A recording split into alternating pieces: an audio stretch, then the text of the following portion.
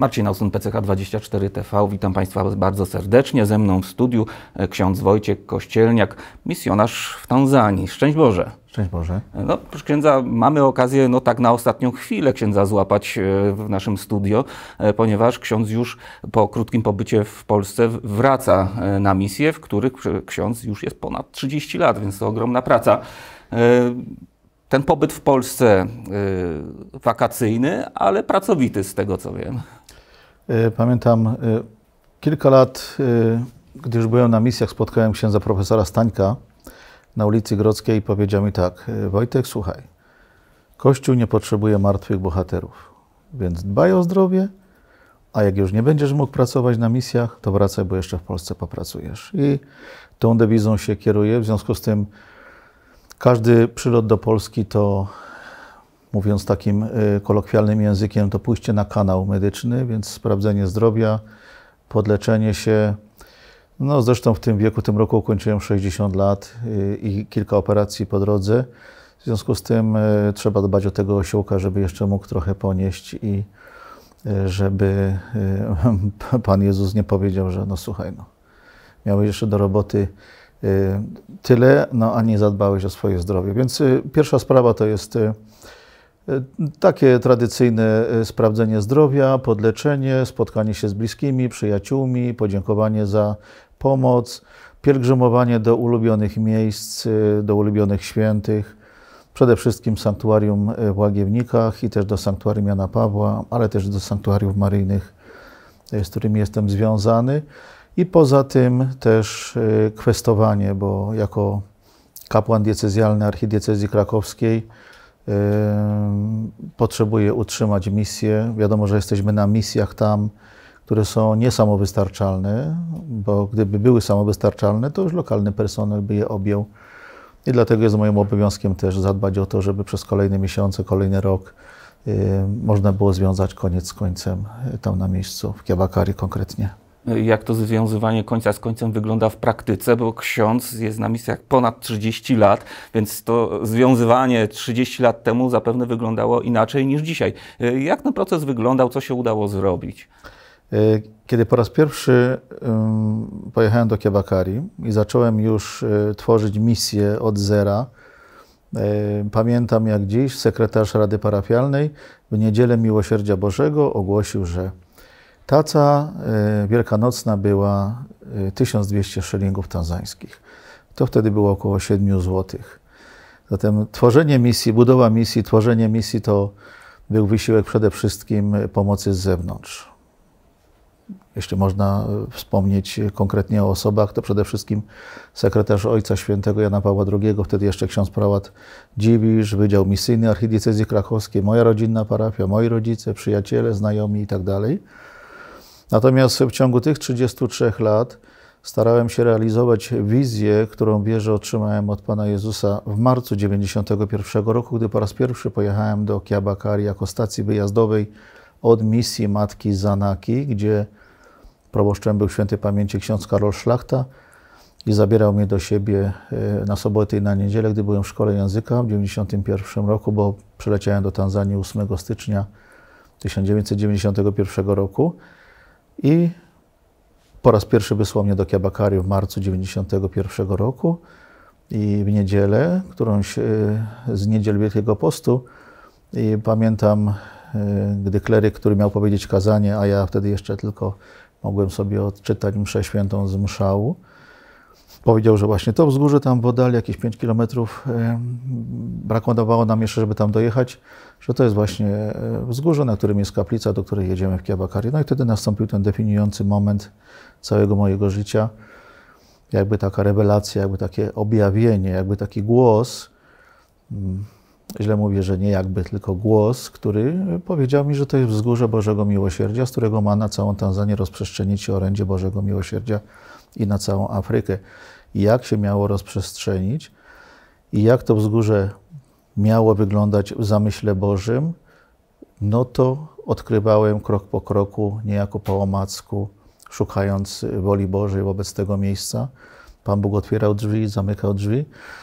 I w tej formie, której w tej chwili mamy, misja Kiabakari zasadniczo jest zbudowana na trzech filarach. Dlatego, że zrozumiałem na początku samym, że nie można głosić miłosierdzia Bożego teoretycznie z ambony. Zwłaszcza dla y, Afrykańczyków, dla Tanzańczyków. Co z tego, że ten człowiek y, przyjdzie do sanktuarium, uklęknie przed obrazem Pana Jezusa Miłosiernego, weźmie różaniec do ręki, odmówi koronkę, ale on potem wróci do tego samego życia. Chory, biedny, głodny, zdesperowany. W związku z tym zauważyłem, że Pan Bóg niejako popycha mnie, podsuwając różnych ludzi, różne organizacje, które były zainteresowane współpracą, że jednak ten kierunek ma być nie tylko w stronę zbudowania sanktuarium miłosierdzia Bożego, ale też zapewnienia dobrej, nowoczesnej opieki zdrowotnej na miejscu i edukacji na wysokim poziomie. To są te trzy filary, które realizujemy, że to jest Boże miłosierdzie, które ogarnia całego człowieka, jego duszę, jego ciało przez opiekę medyczną i jego umysł. I potem realizacja tej wizji y, trwała przez wiele, wiele lat i dalej trwa. W tej chwili y, mamy Narodowe Sanktuarium Miłosierdzia Bożego. Oczywiście to jest też kościół parafialny dla misji Kiabakari, która obejmuje obszar około 600 km2. Jestem tam sam jedynym białym i Polakiem. 11 e, e, kaplic wyjazdowych, większych i mniejszych, w odległości mniej więcej do 16 km, więc jest to jedna z mniejszych misji e, w tamtej części Tanzanii. Oprócz tego mamy przedszkole, szkołę podstawową z internatem na 400 uczniów i także ośrodek zdrowia oraz klinikę okulistyczno-dentystyczną. A w sierpniu tego roku skończymy taki mały pasaż handlowy i gastronomiczny, zwłaszcza dla pielgrzymów, bo była kwestia konferencji Episkopatu Tanzanii, gdy chciała ogłosić Kiabakari Sanktuarium Miłosierdzia Bożego 5 lat temu, pytali się, a jak z infrastrukturą dla pielgrzymów? Gdzie będą spać i gdzie będą jeść?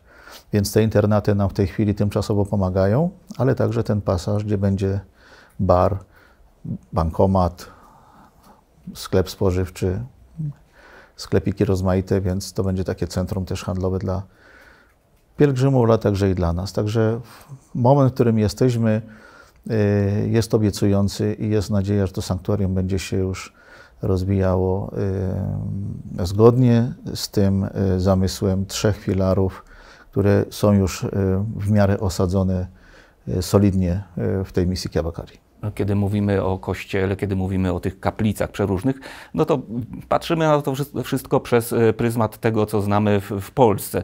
E, natomiast jak to wygląda w Tanzanii? E, jaka jest liczba wiernych? Ile ludzi uczestniczy w, w mszach świętych, w nabożeństwach? No i w końcu jakiej liczby pielgrzymów można się spodziewać? Jak wygląda w ogóle katolicyzm w tym kraju?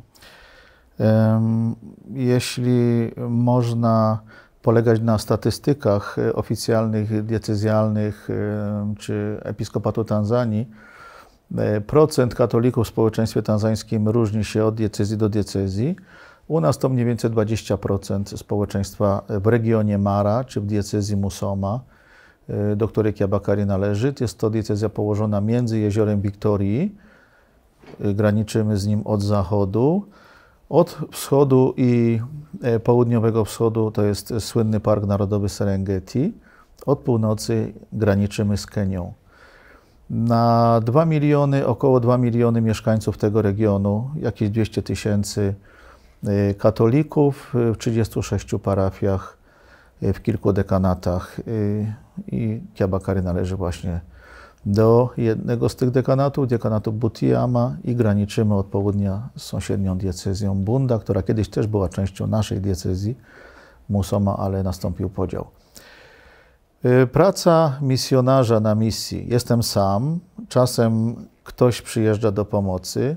Mam y, sanktuarium, mam 11 wiosek, mam 15 katechistów, którzy prowadzą nabożeństwa słowa co niedzielę w każdej z tych wiosek. Ja y, odprawiam główną mszę świętą o 7 rano. Y, Im wcześniej, tym lepiej dla ludzi ze względu na temperaturę. I potem jadę do dwóch wiosek. I tak stopniowo co niedzielę do kolejnych wiosek objeżdżam. Polega to nie tylko na odprawieniu mszy świętej, ale też i spotkaniu. To jest taki też jakby mobilny, mobilna kancelaria, mobilne biuro. Różne sprawy się załatwia na miejscu i po południu po posiłku gdzieś tam w danej wiosce wracam, wracam na misję. Natomiast mamy też siostry służebniczki starowiejskie z prowincji afrykańskiej z siedzibą w Kasisi koło Lusaki w Zambii, które prowadzą szkołę, ale też prowadzą nabożeństwa słowa z komunią świętą, bo mają pozwolenie na, jako nadzwyczajni, nadzwyczajne szafarki Eucharystii właśnie w naszej misji czy w diecezji. I, I, tak to właśnie wygląda. Więc w samym Kiabakary mamy dwie msze święte o 7 i o godzinie 10 gdy odprawiam mszę świętą. Jeżeli jadę do wiosek, no to wtedy jest nabożeństwo słowa z komunią świętą, którą, które prowadzi siostra y, służebniczka. Oprócz tego katecheza w sobotę i w niedzielę. Mm, nie da się za bardzo prowadzić katechezy w szkole, dlatego że rząd kilka lat temu zmienił zasady ustalania religii w szkołach. Już nie można sobie z dyrektorem ustalić godzin, y, które by pasowały, żeby poszczególne klasy miały katechezy ze względu na muzułmanów y, religia w tej chwili w szkołach jest tylko w piątki, w tym czasie, gdy muzułmanie idą do meczetu, czyli mniej więcej od godziny 12 do godziny 2. Jeżeli jest to szkoła, w której jest 1300 uczniów od klasy pierwszej do klasy siódmej, a klasy potrafią być po 200 uczniów i więcej, no to wtedy taki katechista, gdy przychodzi do, y, do takiej szkoły i ma przed sobą może y, główek od pierwszej klasy do siódmej, no to jaką katechezę może prowadzić? Chyba tylko o modlitwie, znaku krzyża, przekazaniach, ale nie katechezie, która jest adresowana do konkretnych y, przedziałów wiekowych, więc tu jest trudność pewna. Ksiądz tutaj wywołał już troszkę temat państwa. E, i innych religii. Jak to wygląda? Czy, czy katolicy są akceptowani e, przez właśnie te struktury państwowe i jak są traktowani też przez e, inne wyznania? Czy tu są jakieś zagrożenia? Czy dochodzi do prześladowań? Jak to wygląda? Tanzańczycy z natury nie są ludźmi konfliktowymi w sensie wojowania. Ościenne państwa jak Rwanda, jak Mozambik, nawet w Kenii tam te charaktery ludzi są bardziej gwałtowne i przeradzają się też w bójki, w rękoczyny. Natomiast Tanzańczycy są, bym powiedział, mocni w mowie, więc w komentarzach na Facebooku, gdzieś w mediach socjalnych y, y, tam, tam wyrażają swoją opinię. Natomiast zasadniczo nie lubią się bić.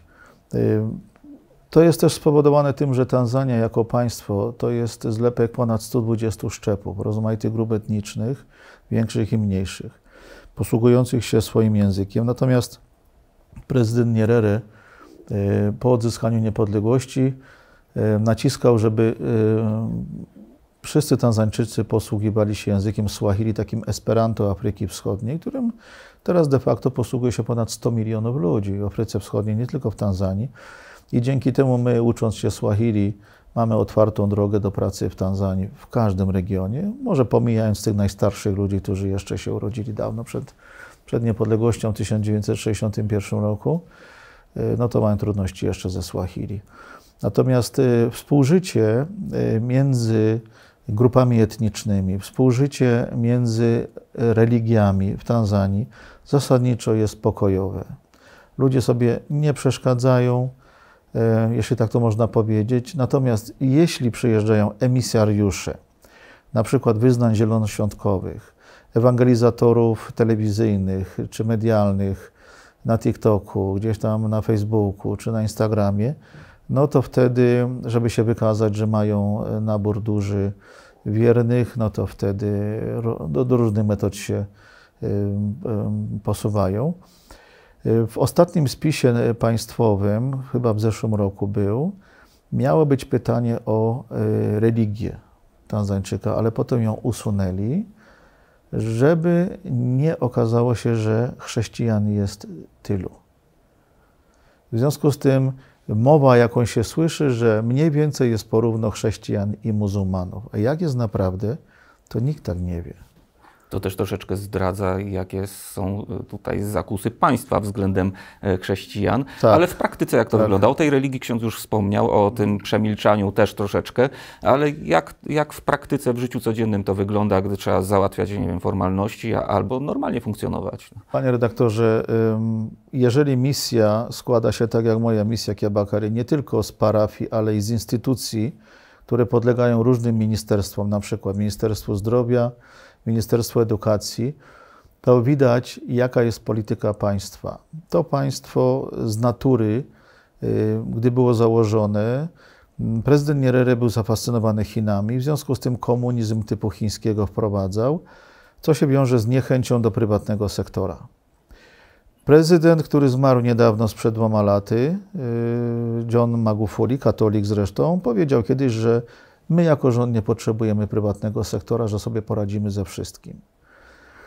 Y, prywatny sektor, jeśli, to chodzi, jeśli chodzi o prywatny sektor, jest gnębiony rozmaitymi y, przede wszystkim podatkami i, i, przepisami, które są wprowadzane. Dodatkowo my jako Kościół katolicki, czy jako wyznanie, ale zwłaszcza Kościół katolicki, bo Kościół katolicki jest największą instytucją kościelną, ma najwięcej szpitali, przychodni, ośrodków zdrowia, najwięcej szkół, uniwersytetów. W związku z tym walcząc z Kościołem katolickim w białych rękawiczkach, przede wszystkim walczy się wprowadzając coraz to nowe przepisy i coraz to nowe opłaty, które zaciskają pętlę fiskalną wokół nas. I mogę też powiedzieć, że radość stworzenia e, filaru edukacyjnego, radość stworzenia filaru medycznego w Kiabakari w mojej misji wiąże się teraz z taką goryczą e, niepotrzebnej zupełnie walki z, z rządem, który oficjalnie mówi, że jest współpraca między y, sektorem prywatnym a, a państwowym, a w rzeczywistości coraz to nowe przepisy są wymyślane, aby do tego doprowadzić, że my już po prostu nie będziemy mogli dalej prowadzić swojej działalności i zrobić to, co w latach 70. zrobili, znacjonalizowali szpitale katolickie i też inne, i szkoły, i potem po iluś tam latach, gdy było zrujnowane, wspaniałomyślnie oddali z powrotem Kościołowi. Są tego ku temu jakieś już widać jaskółki. Osobiście jestem przekonany, że tak nastąpi, dlatego że jest coraz gorzej dla nas, jeśli chodzi właśnie o różne, różne płatności, podatki gruntowe, jeśli chodzi o pracowników, wymagania, kwalifikacje, co się nie wiąże z tym samym u nich. To są zupełnie jakby dwa państwa. Że my mamy prowadzić ośrodek zdrowia na poziomie europejskim czy jakiejś kliniki szwajcarskiej, natomiast sąsiadująca klinika y, rządowa, no to jest po prostu ruina i tam nie ma nic. A może właśnie chodzi tylko o wyciągnięcie pieniędzy, bo widzą, e, że jest to wsparcie ze świata. No, Kościół powszechny może cieszyć się tym, że misjonarze e, mogą liczyć na, na pomoc. E, może chodzić tylko o pieniądze, czy raczej to. To, to, się, to się wiąże z wieloma, wieloma czynnikami. To też jest niechęć muzułmańska, bo często używają tego słowa mfumo Christo, że to jest system chrześcijański że rząd jest chrześcijański. Gdy wprowadził rząd VAT, to był wielki krzyk w Tanzanii, bo muzułmanie i inni niekatolicy mówili, że to jest podatek na Watykan, bo VAT, że to jest skrót od Watykanu, nie? że te 18% że będzie szło dla papieża. Więc y, musieli się dużo y, nagłówkować, żeby im to wytłumaczyć.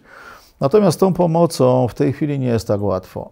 O dziwo, i to mówię z własnego doświadczenia. Jeżeli jeszcze na edukację ludzie e, chętnie e, mogą dać, zwłaszcza na dzieci, tą adopcję na odległość, adopcję duchową, wspieranie szkoły, wspieranie przedszkola itd. Tak Natomiast e, jeśli chodzi o Fundusz Zdrowia, czy pomoc dla naszego ośrodka zdrowia, który nie ma żadnej dotacji ani z diecezji, ani z państwa, wręcz przeciwnie, Płacimy też podatki dla diecezji, 5% brutto dochodu i do rządu też cała lista rozmaitych płatności.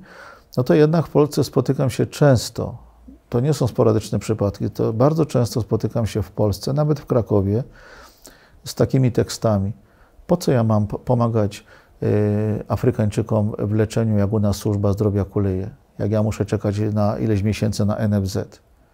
I to widać. Nasza mała fundacyjka Kiabakari, która jest tworzona przez grupkę y, wolontariuszy. Żaden z nich nie pobiera y, wynagrodzenia za, za pracę, aby cała pomoc docierała do, do misji Kiabakari. No to widać po prostu, że filar edukacyjny ma się w miarę dobrze, natomiast filar wsparcia ośrodka zdrowia na zakup leków, na zakup odczynników, na dofinansowanie pensji dla pracowników, których mamy 17 na miejscu, bardzo kuleje. No to jest po prostu, no to, to, to, to jest strumyczek, to kapie tylko. Ale to jest taka właśnie, taką właśnie odpowiedzią się spotykam bardzo często, czy w parafiach, czy w rozmowach. Nawet wolontariusze, lekarze, którzy przyjeżdżają, kiedyś chirurdzy też ogłosili, że przyjeżdżają na operację przepukliny, to spotkali się z takim hejtem online, że oni jeżdżą zamiast tutaj leczy, leczy, leczyć rodaków, operować rodaków, którzy muszą czekać miesiącami na operację, oni gdzieś tam na wakacje lecą i, i, i, i leczą, jak się to brzydko mówi, murzynków. No to też są bardzo ciekawe spostrzeżenia i ciekawe, czy dotyczą tego, że w, w, Polsce zaczyna się tak gorzej dziać, czy może przyzwyczailiśmy się do wyższego komfortu, y, a może jedno i drugie. Być może. Tak. Proszę księdza, jeszcze tak. chciałem zapytać e, o, o, wyzwania Kościoła w Tanzanii, no bo nakreślił nam ksiądz tutaj realia, jakie panują, jak było, w którym kierunku to zdąża i jakie ksiądz widzi na najbliższe lata takie, takie problemy do pokonania, którym będziecie musieli stawić czoła. Myślę, że są natury, powiedzmy, cztery takie główne problemy. Pierwsze to sytuacja międzynarodowa. W Tanzanii jest przysłowie, które mówi, Y, Matembo hupigana, niasi huumija. To znaczy, gdy biją się słonie, to cierpi trawa. Więc gdy jest wojna y, na Ukrainie, gdy jest jakiś kryzys tam kredytowy, gdy jest pandemia, to tym bardziej nas to dotyka, bo jeżeli darczyńcy nasi mają problem, to my jako odbiorcy ich pomocy mamy problem. I zauważyłem to od pandemii i od wojny z Ukrainą, że pomoc dla misji i też dla mnie osobiście bardzo zmalała. I tutaj borykam się właśnie też z problemami, i w związku z tym nawet mój przyjazd na dwa miesiące do Polski był bardzo intensywny, żeby móc y, w takiej sytuacji jeszcze utrzymać się na powierzchni. Y, o wiele, o wiele bardziej moje wysiłki były zintensyfikowane, mimo że czas też niedobry, bo wakacyjny i koniec roku szkolnego i ludzie nie mają czasu albo wyjeżdżają, a sytuacja z Ukrainą też. I to jest jedna rzecz, sytuacja międzynarodowa. Druga sytuacja, zbliżające się wybory w Tanzanii w 2025 roku, gdzie od wielu, wielu lat za każdym prezydentem muzułmańskim, bo jest do tej pory niepisana zasada, że wymieniają się, że jest prezydent chrześcijanin przez 5 albo 10 lat, zazwyczaj 10 lat, dwie kadencje, bo to jest ta sama partia rządząca, partia rewolucyjna, która od 1961 roku rządzi i trzyma Y, Tanzanię w mocnym uścisku. Y, więc jeśli jest y, prezydent chrześcijanin, no to następny jest muzułmanin. I tak w kółko. Teraz, ponieważ prezydent katolik zmarł w niewyjaśnionych okolicznościach w połowie swojej drugiej kadencji, teraz pani wiceprezydent, która jest muzułmanką z Zanzibaru, obawiamy się, że ta agenda kampanii wyborczej, która była mocno jakby tak sprzedawana w czasie, w czasie też, jakby to powiedzieć, tej całej palety obietnic wyborczych partii rządzącej CCM czy CCM, jak to wymawiamy. Chodzi tutaj o to wprowadzenie szariatu, i wprowadzenie trybunałów czy sądownictwa muzułmańskiego.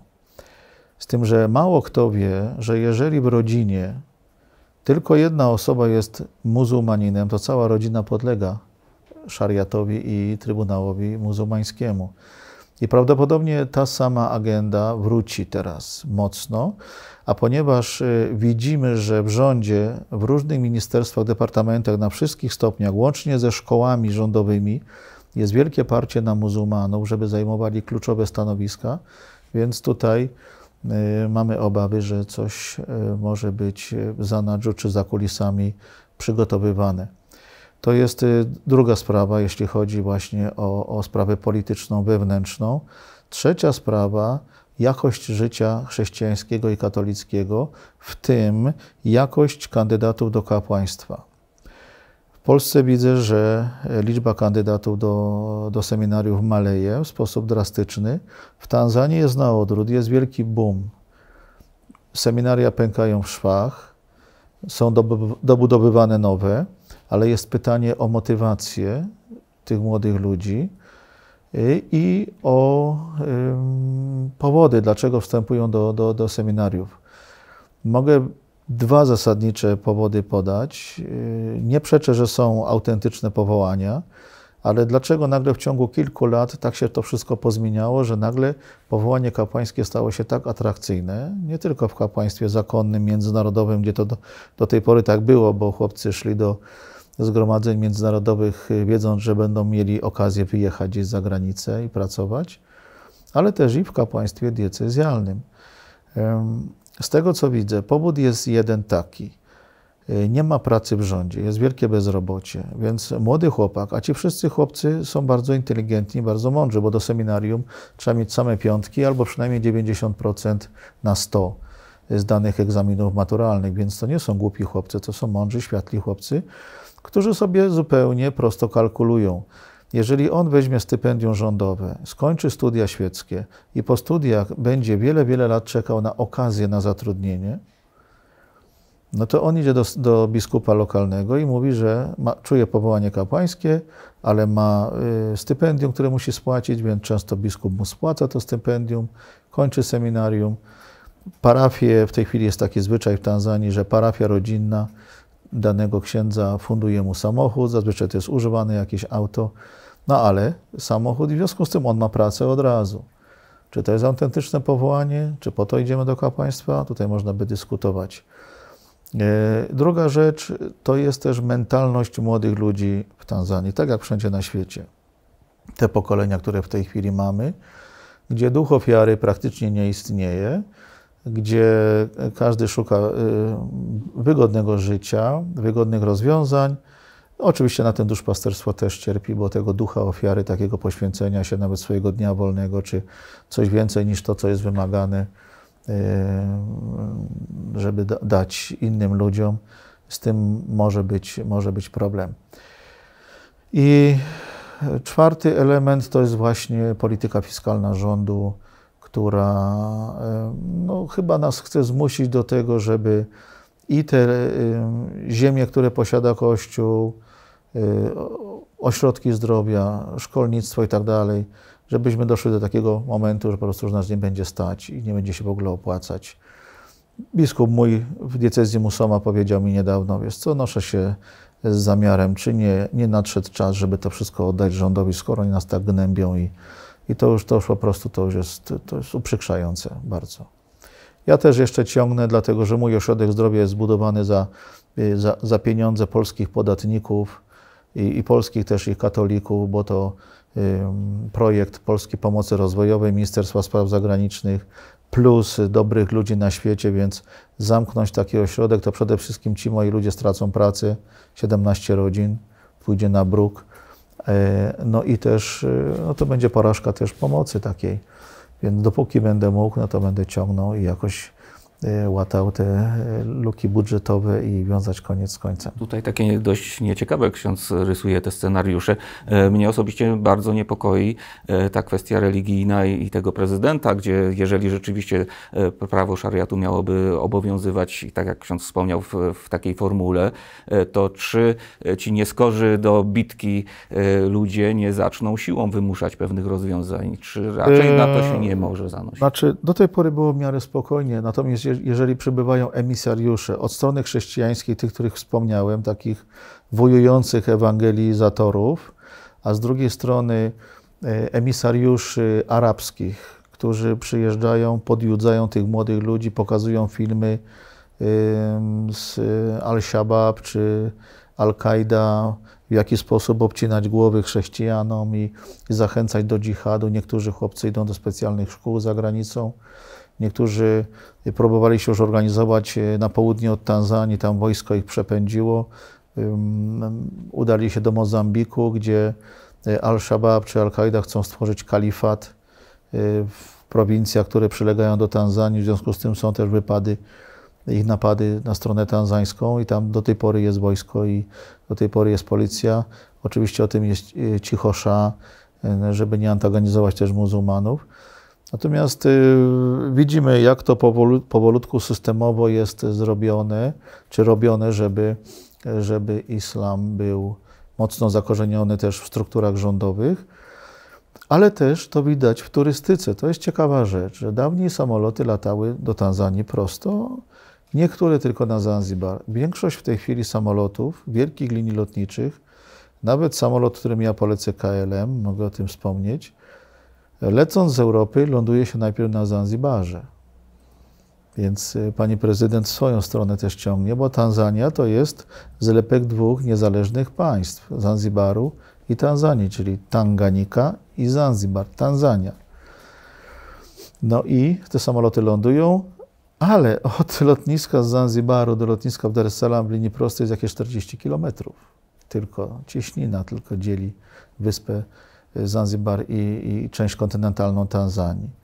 I cały czas jest mocne parcie muzułmanów na to, żeby Zanzibar się oddzielił, e, czego się bardzo obawiał e, prezydent Nyerere, dlatego też wymusił zjednoczenie Tanzanii, Tanganiki i Zanzibaru, bo gdyby Zanzibar wpadł w ręce ekstremistów, no to wtedy część kontynentalna byłaby zagrożona. Żaden samolot by nie mógł wylądować, ani statek przepłynąć bezpiecznie do portu e, w Dar es Salaam. Nowa historia w tej chwili bardzo gorąca. Widzę, śledzę co to na bieżąco. Jakaś wielka firma e, deweloperska DP World e, z Dubaju chce przejąć główny port w Dar es Salaam dla zwiększenia efektywności przeładowania itd., tak itd., tak że to jest taka firma, się na tym zna. Natomiast Tanzańczycy uważają, że, że kraj w ten sposób jest, jest sprzedawany. Jaka jest prawda? Nie wiem. Więc... Na pewno będziemy świadkami e, tych tak. wydarzeń w niedługim czasie, skoro tak. takie zmiany postępują. E, proszę księdza, na koniec naszej rozmowy, no, musi ksiądz powiedzieć, e, w jaki sposób można pomagać misjom w, w Tanzanii. Przede wszystkim modlitwa. Wiele było sytuacji takich, że były no, na, granicy, na granicy rozpaczy, na granicy y, utraty ducha, ale jest taka niewidzialna, niewidzialna, powiedziałbym taka szklana ściana, że, y, że, że wychodziliśmy z, z każdej opresji. I to jest właśnie taki mur, którym jesteśmy otoczeni. Wiele razy, powiedziałbym nawet fizycznie, fizycznie czułem, że no koniec, ale a jednak nie koniec. Więc modlitwa numer jeden absolutny. Bardzo, bardzo też cenię i bardzo proszę to, co Jan Paweł II, modlitwa chorych i cierpiących. To naprawdę to jest taka ogromna potęga. Sam też staram się ofiarować wszystkie jakieś dolegliwości, operacje, choroby też. Panu Jezusowi pomóż komu chcesz tam, żeby nic z tego się nie straciło. Natomiast y, y, samotność ludzi w naszych blokach, przeżywanie y, złotej jesieni życia, w sposób pozytywny. Panie Jezu, ofiaruję Tobie moją samotność właśnie dla tych. Starsi seniorzy, którzy nie mogą już dobrze chodzić, o lasce. Panie Jezu, oddaję Tobie nogi za, za, y, za misjonarzy, żeby mogli dotar, do, dotrzeć. Może jeśli jest czas, to powiem jedno tylko takie wydarzenie z moich czasów kleryckich, gdy chodziliśmy jeszcze pomagać starszym i seniorom, zwłaszcza tym, którzy byli y, jakby przykuci do swoich mieszkań, nie mogli żyć e, e, no, niezależnie. Pamiętam, że chodziłem do jednej pani, która mieszkała na piętrze, pierwszym piętrze na ulicy Kopernika, niedaleko kościoła świętego Mikołaja. I niesamowicie pogodna kobieta, która miała odjęte obie nogi. I mówi, proszę księdza, gdyby ksiądz wiedział, klerycy w sutanach, no to proszę księdza, e, proszę księdza, gdyby ksiądz wiedział, gdzie mnie te nogi niosły, w jakie złe miejsca, Wydała się cukrzyca i lekarz powiedział, że muszę mieć te nogi odjęte, nie? No to powiedziałem wtedy Panu Bogu, mówi, Panie Boże, te nogi mnie prowadziły w złe miejsce, oddaję Ci te nogi, żeby moje dzieci przynajmniej szły w dobre miejsce, bo, bo też miały złe życie. No i te dzieci się nawróciły, a ona żyje na wózku, uśmiechnięta, e, promieniejąca. To tylko jeden taki przykład. E, I oczywiście pomoc materialna, która w tej sytuacji żeby się nie poddawać, nie tracić ducha. Więc sam powiedziałem mojemu biskupowi, jak e, skończyłem 60 lat, mówię, księże biskupie, nie ma zgody na byle jaką starość. Mamy ją przeżywać aktywnie, pracować do końca, a jak umrzeć, to na stojąco. Bo sam Pan Jezus chce nas zastać czuwających. Więc dopóki będę mógł, będę e, pracował, będę kwestował, będę jeździł tu i tam, będę pisał listy, żeby szkoła się rozwijała, żeby ośrodek zdrowia się rozwijała, bo nawet gdy mówią mi ludzie, o, co to będzie potem, jak odejdziesz, to wszystko padnie. Nie, Ewangelia się dzieje tu i teraz. Dziecko, które dzisiaj poszło do szkoły, ono się czegoś nauczy. Chory, który przyjdzie dzisiaj do ośrodka, będzie wyleczony. Osoba, która się dzisiaj wyspowiada, pojedna się z Panem Bogiem, przyjmie komunię świętą. A co będzie dalej? Kto wie, co będzie dalej? Sam Pan Jezus mówi, martwcie się o dzisiaj. A ten, który mnie wybrał z bloku z Nowej Huty, chłopaka, który chodził do klasy matematyczno-fizycznej w 11 LO i miałem już papiery złożone na AGH, na informatykę i nagle wkroczył jak w życie świętego Pawła i skierował mnie do seminarium, a potem na misję, to jeżeli Pan Bóg mógł znaleźć takiego chłopaka zupełnie niepasującego do tej roli, do tego powołania i posłał do, do Tanzanii, no to co dopiero zrobi teraz? I widzę już pewne pewne jakby e, zwiastuny czy jaskółki, że są też księża i w krakowskiej archidiecezji zainteresowani, żeby podjąć to dzieło i kontynuować. Także ja jestem dobrej myśli. Myślę, że nasi słuchacze doskonale wiedzą, jak to wsparcie modlitewne e, wykonać. Natomiast jeśli chodzi o to wsparcie materialne, to gdzie można ich skierować? Jesteśmy w internecie, więc na pewno fundacja ma jakąś stronę internetową, gdzie tak, można znaleźć wszystkie informacje. Nasza mała fundacja ma swoją siedzibę na ulicy Sądowej 5 przez 1. To niedaleko sądu, niedaleko tych wydziałów administracyjnych, między Rondem Mogilskim a Rondem Grzegorzeckim. Adres internetowy to www.kiabakari.org. Myślę, że też na stronie internetowej e, e, właściwy spelling e, tej nazwy się znajdzie. Można zadzwonić bezpośrednio do szefowej pani Bożeny albo skontaktować się ze mną. Zazwyczaj odpisuję od razu, mam swój e-mail, taki trochę śmieszny, jak ktoś zobaczy. No ale to jest autoironia, dlatego że od dzieciństwa jestem insomniakiem, czyli, czyli praktycznie biorąc bardzo mało śpię. Żadnej siesty nigdy nie mam. I dlatego też nazywałem swój e-mail w Tanzanii lala fo, to znaczy spać jak, jak kamień, nie? Spać e, jak kłoda.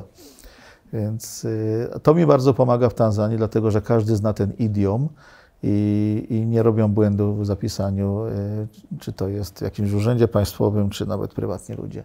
Jesteśmy w, co prawda w okresie e, poza rozliczeniami już podatkowymi, ale fundacja jest organizacją pożytku publicznego, tak. więc gdyby Państwo e, kiedyś zastanawiali się, gdzie przeznaczyć swój odpis podatkowy, to można wziąć pod uwagę właśnie Fundację jak. Jak najbardziej organizacja pożytku publicznego, tak jak wspomniałem, jest y, kilka osób zaangażowanych w pracę fundacji. Ta, każda, każda z tych osób ma swoją pracę, swoje zatrudnienie, wolontariacko pracują, aby cała pomoc doszła do Kiabakari. Także 100% pomocy dociera na miejsce do Kiabakari, co jest bardzo ważne i zachęcamy do tej modlitewnej pomocy, do tej materialnej pomocy i zachęcamy też do wspierania no, naszych mediów. Dzięki Państwa wsparciu możemy informować o takich wspaniałych inicjatywach, o, o tych wszystkich wydarzeniach na misjach i szerzeniu Ewangelii w całym świecie. E, ksiądz Wojciech Kościelniak był moim Państwa gościem. Serdecznie dziękuję za tę rozmowę i przybliżenie problemów w Tanzanii. I ja również, Panie redaktorze, dziękuję wszystkim słuchaczom za to zaproszenie, bo Dobrze wiedzieć, że misje archidiecezji krakowskiej w Tanzanii obchodzą w tym roku złoty jubileusz, 50 lat, odkąd ksiądz kardynał Wojtyła wysłał pierwszych misjonarzy w 1973 roku i my kontynuujemy y, to dzieło. Jest to też dobra okazja, aby o tym wspomnieć przy okazji tego wywiadu. Dziękuję bardzo za uwagę i będę dziękował także za modlitwę i za wsparcie za kontakt, aby ta misja archidiecezji krakowskiej mogła dalej trwać i się rozwijać. Niech Pan Bóg błogosławi. Bóg zapłać. Dziękuję bardzo.